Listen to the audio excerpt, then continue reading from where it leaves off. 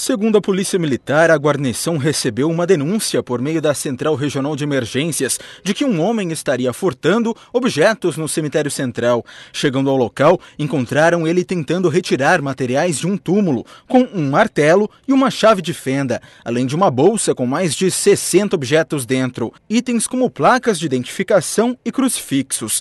O suspeito tentou fugir da guarnição, mas foi contido e algemado. Os policiais deslocaram até lá e, ao chegar no cemitério, ministério depararam-se com um cidadão sobre um túmulo, já com um martelo e uma chave de fenda, retirando ali as inscrições de bronze e os crucifixos da, dos túmulos, né?